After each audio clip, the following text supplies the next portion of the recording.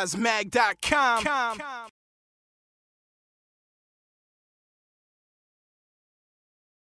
Okay, uh, we're here at Anime Next 2016 with the great Richard Epcar and the lovely Ellyn Stern.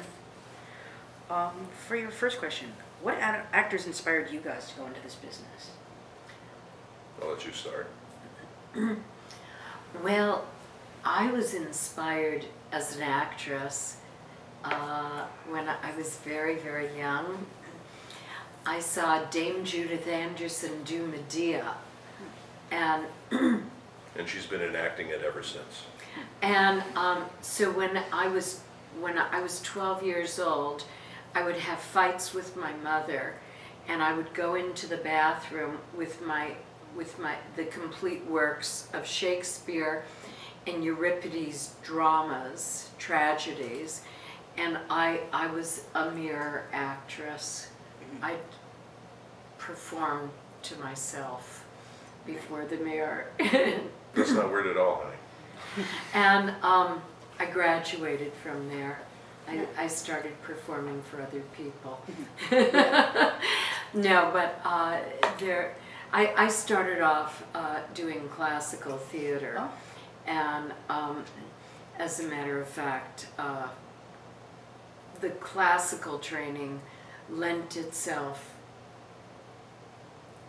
that that is how I was invited. I was doing a film. I'm getting ahead of myself, but uh, the cla- I, I was doing a film, and um, somebody asked me if I would like to do voice work. That's how it began. No. Can't beat Shakespeare. No, it was a western. I was riding horses. Uh, for me, I, uh, I, well, I kind of knew I always wanted to be an actor, even as a kid. So uh, uh, when I was in kindergarten, I went on these little skits with my classmates and stuff like that, and wrote these silly little things. In first grade, we did these things. So I kind of always knew this is something I wanted to do, and uh, Ellyn kind of got me into the, the voice side of it. Kind of.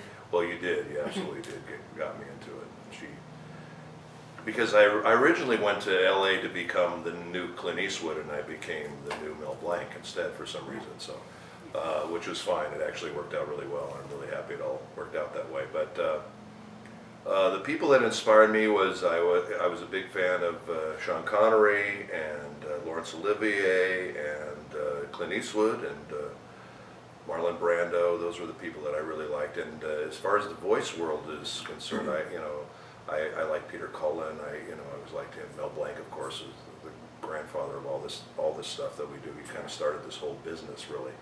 Um, and you know, there's a lot of there's a lot of very super wonderful, talented people out there that we're fortunate enough to work with all the time and see and direct and so uh, we've been we've been really fortunate in that we're always busy, always working, and you know get to work with some really wonderful people. So yeah, That's great. yeah. Um, are there any like shows or fandoms that you guys are into right now? Uh, that we watch, you mean? Yeah.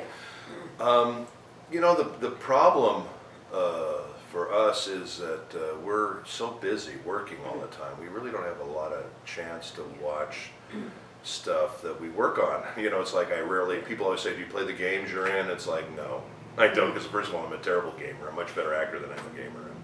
And, we just don't have a time. I mean, we. I have watched a lot of the Ghost in the Shell because I, I do love the show and it's it's kind of a great show. But uh, as far as the other shows are, I, I'll watch them once in a while if I can. But it's just I, it's so hard for us to, to watch those shows. Yeah, it, it totally is. But when we do get to watch an entire show is when we get to direct it. Yeah, that's true. Um, we just did co-directed Lupin the Third, the Blue Jacket series, and so that's going to be coming out soon. And And that was Jigen great again fun. that, so that's fun. Does it help like being a voice actor first and then directing? Oh Yes. yeah, Yeah, absolutely. because then you can you can totally support the actors Mm. because you know what they need Yeah. and you know how to feed them.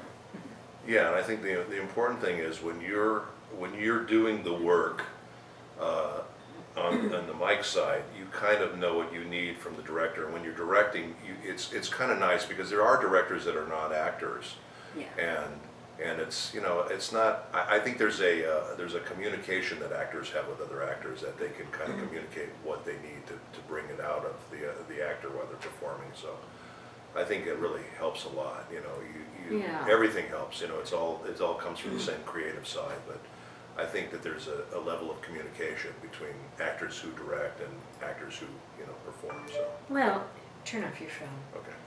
There's, well, yeah, I mean, like with anything, um, if you do, an- if you know anime, there's a language. And, and um, excuse me. And it makes you cough I when you have, think about it. I have such bad allergies, and what I shouldn't have I done, think you're allergic to me, I think that's. and I did last night, was I enjoyed a piece of your pizza here. Best pizza and- ever, Best pizza ever. thanks to Dennis and And- Barbara who gave them a. And I'm a nod suffering over today. here. Took us to the best pizza place in the world, it was great. But uh, anyhow, yeah, everything has language. And uh, so actors have a language in the way that they communicate. Uh, it's not just more, less.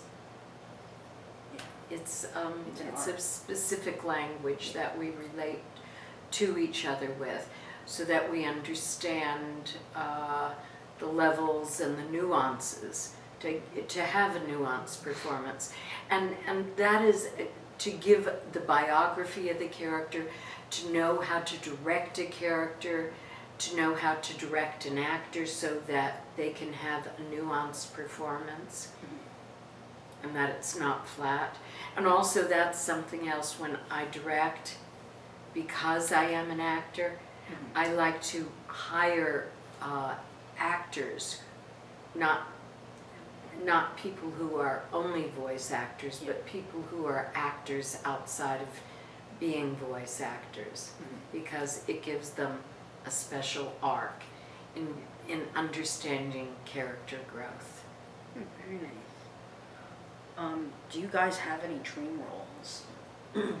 Dream roles? Yeah. Well, I already played the Joker, and I would love to play Batman. Maybe I could do Batman and the Joker in the same uh, project. That would be kind of fun. I would enjoy that. And I'd like to do it with James Bond or anything to do with James Bond. Uh, that would be my dream role. But I have to say, I've done over 500 characters. So I've been pretty, pretty blessed and pretty lucky, and I, I just keep going. So uh, every year it gets better and better. And, uh, you know, I- like I said, I'm lucky, and they, they throw some characters at me that I, I had no idea I was going to play, and uh, it's turned out really, really great, so. What about you? My dream roles are to keep doing roles and to keep working. Yeah, Um, there's far less roles for women than there are for men. In any given project, you have a couple of roles for women as a rule, and all the rest are men, unfortunately. And um, so there needs to be more and more roles for women. It's very, very important. This is uh, something that I talk about a lot. Yeah. Um, so my dream is to keep doing roles. I have I have a very big range, which you have to have if you want to be successful as a, a voice actress. Bec- unless there there's two ways you can succeed being a woman in this business.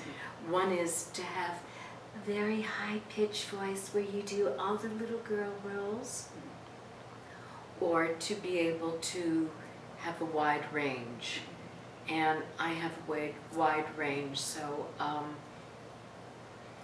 my dream roles are to keep on working. That's always good. Yeah. Uh, do you guys have any like specific techniques or like rituals for getting into character? You want to show them? no, oh, come on, honey. no, I honey. really don't. Honey, No, please. no. Pretty Now you're scaring me. Pretty please with sugar on it. No, go away. You want to see it, don't you? Don't you? You want to see? Okay, this is, we're gonna show you. Did you escape from the home or something? I did. Our home. What are we doing? Our, our warm up? Is that what we're doing? Yeah, yeah, yeah. So we'll, we'll be driving, going to an audition, and this is what we do. Me me mama moo, me me mama moo, me me mama moo, me me mama moo, me me mama moo. Okay,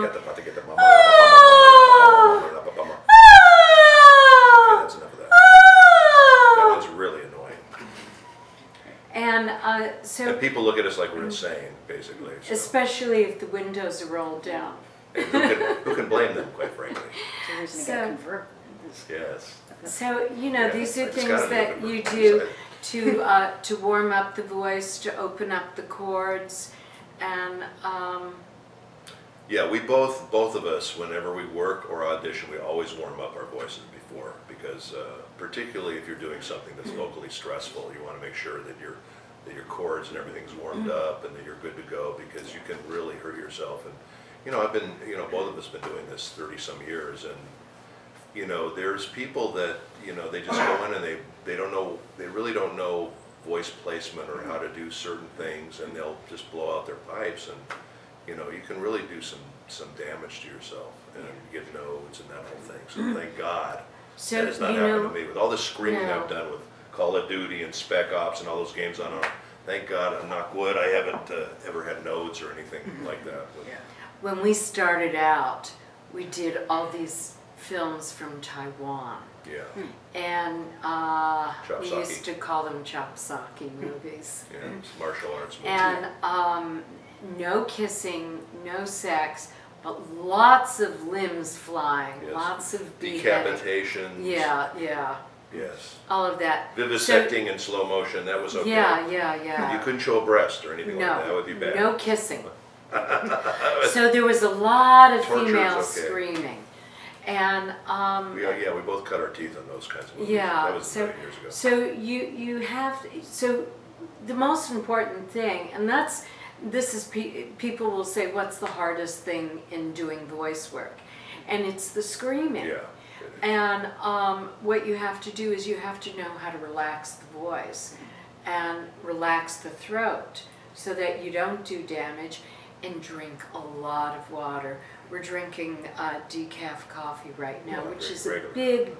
Are you? I am, Why are you drinking regular? because it tastes better. But you know you're not supposed to. I know. That's This has been a coffee conversation.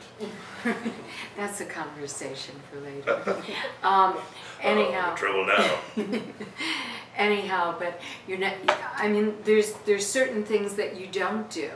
You don't drink coffee, you know, because coffee and wine, red wine, will close up the the hell throat. drinks wine in the booth, unless you're in France? No, I, I'm just saying, these Yeah. are things that close up the throat. Yeah, Uh, lots of times they'll keep cut up apples in the booth because the apples cut out the smacking sounds, the, yeah, they'll make you the cotton mouth.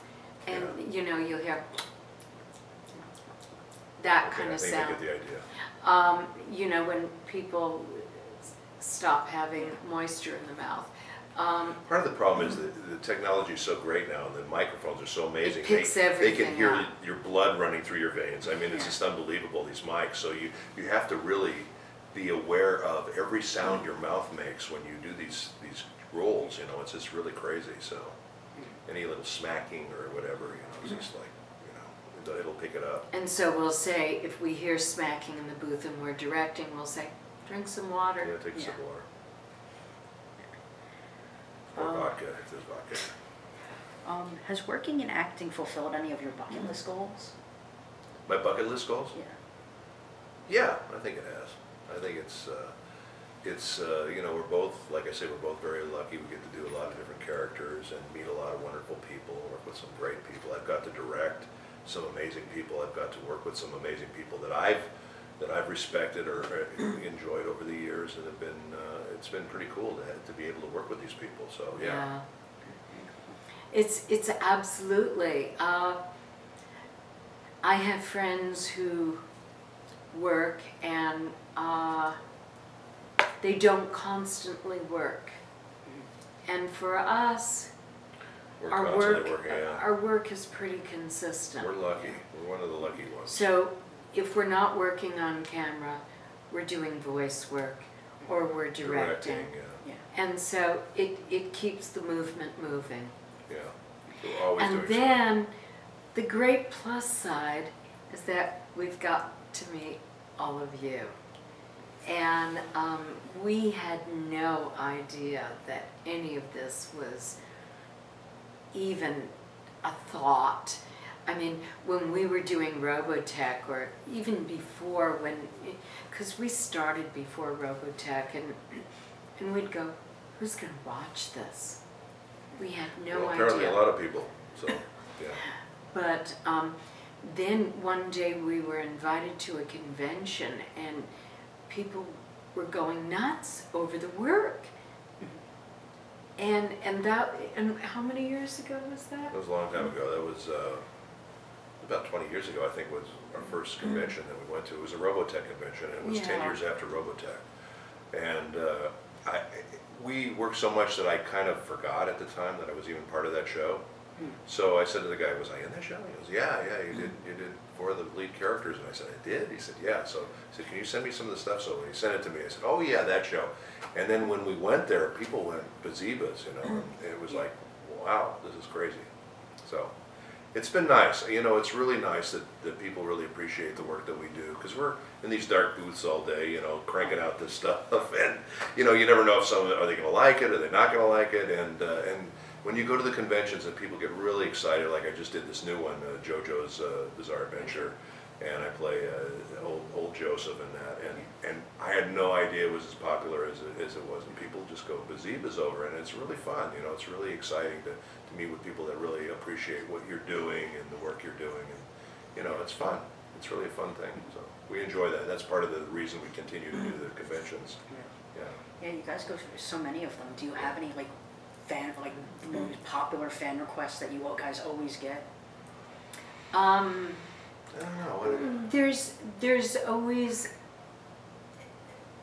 You mean insofar as roles? Yeah. Um, well, we have our popular characters, like, uh, for me, it's Bleach, Masaki Kurosaki, and uh, Gundam Unicorn, uh, uh, Martha Vist Carbine, and um, uh, I, I always have to have my list in front of me, otherwise I don't remember.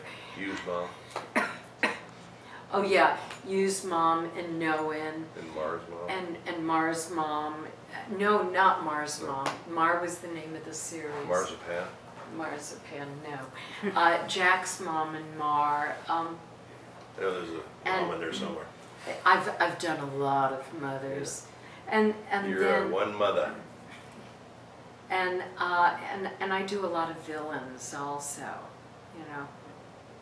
So, I, I mean, you find, it's, it's wonderful, you know, to, it's wonderful to meet the fans and, and then what's really wonderful is to find fans who find the old stuff that you haven't thought about in years. Yeah. For instance, um, uh, we've, I've got one fan, we've got one fan who uh, You got one remembers. fan? That's fantastic.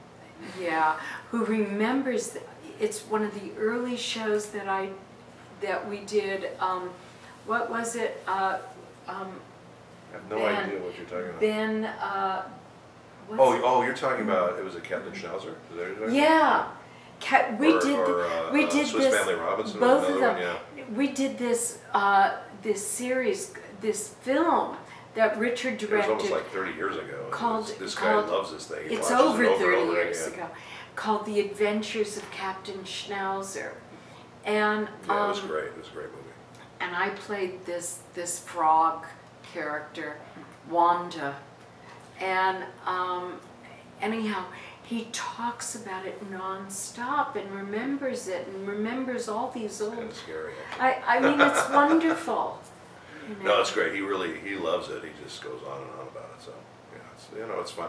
Listen, you, you know, you have, you have no idea how much you affect people with this stuff and how, how this stuff reaches people and how, you know, positively they're influenced by the stuff. So it's, it's really kind of nice, and that's a good feeling too, when you do something like this, and people really, you know, uh, connect with it on a certain level, you know, so that's kind of nice. Like, a lot of you talk about like being in the booth and you don't get that automatic, Yes, you know, reaction Right. as if you were on stage. exactly, or- Right. that's exactly right.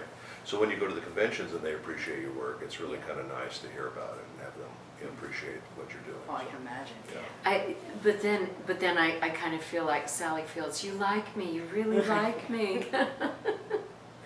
Oh, definitely, definitely people do. Um, what part of your careers are you most proud of? Hmm. Well, That's so hard. For me, I mean, I'm, I'm, uh, I'm really, really proud to be part of the, uh, the DC universe and uh, the Batman world. Co-directed Arkham Origins and played three characters in that. I'm Commissioner Gordon in Batman Unlimited, uh, which is a series of, of uh, films, uh, Batman films. And of course, the Joker, I played the Joker four times now, and I'm going to be playing him again in another game soon. I can't talk about that, but it's just, to be part of that universe is really, really exciting for me. And then to be part of the Mortal Kombat universe and do uh, Raiden. I mean, Raiden is such a, uh, an incredible character, a very noble, uh, honorable character, and I really enjoy doing him as well. So, uh, I mean, there's, a, you know, there's a lot of characters that you do, but it's, uh, for me, it's really kind of fun to be doing these iconic characters that, that kind of everybody knows. You know, sometimes you'll, you'll say, oh, I've done certain anime shows or something. You know, somebody says, oh, what do you do? You're a voice actor, and you, what have you done? And you tell them some of the shows, and they're kind of looking at you like, what? Because they're not, you know, they're not plugged into that stuff. Mm-hmm. But if you say the Joker, everybody knows the Joker, and, and most people know who Raiden is. So it's, you know, those are kind of iconic characters, and it's kind of nice to have those in your pocket, you know what I mean? So. And you, little girl? What was the question? What part of your career are you most proud of? Um, you know, every single job I do affects me in a wonderful way. I'll tell you Um, what's what you're most proud of. She directed the uh, Star Wars into the Navajo language. Wow. Oh, yeah. Aren't you? Isn't that the one, one thing you're the most proud of? You know, it's one of the things I am most proud of it because because um, it wasn't simply a role. I was affecting a change with the Native American Indians. Uh, I was part of a change because what they're trying to do is evolve the language that is dying. It's an endangered language. Um, I mean, it's it's uh, it's for, it's being forgotten. And so the reason that Star Wars was done was to have a connection between the elders and the youth and inspire the youth to learn the language because they haven't. And the language was killed back in uh, when when the Indians there there were no in the eight in the eighteen in the eighteen hundreds the U.S. government took all the children out of their homes and put them into regular schools. Excuse me. and the children were forbidden from seeing their parents for years, like four or five years, and they were also forbidden from speaking their language or speaking about their language. I mean, they wanted to destroy the culture. I, I mean, it's Not, not one of our prouder it, just horrible, horrible. And this continued up through the 1960s. And so to have, be a part of something that was, was historically changing, this was the first time any American, Native American language was heard in a film.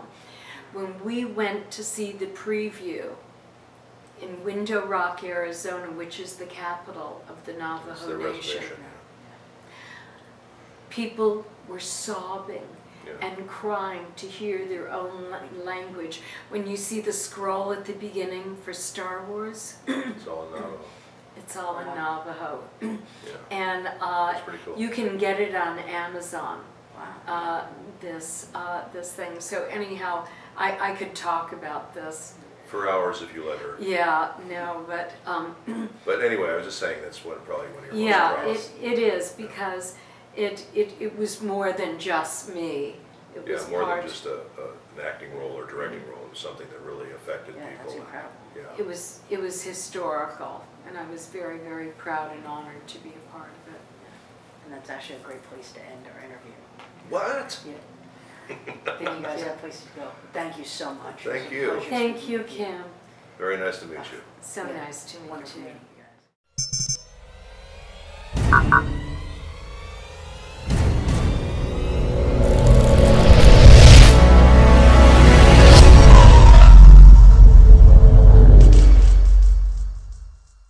We rise mag.com.